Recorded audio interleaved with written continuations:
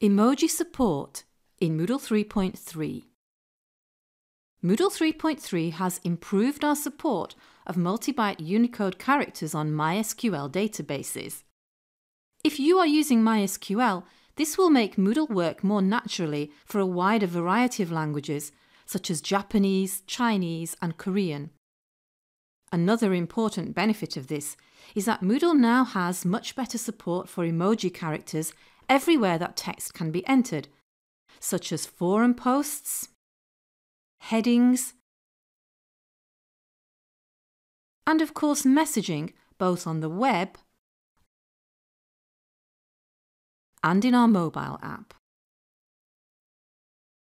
To summarise, better support for emoji characters enhances communication on the web and mobile app.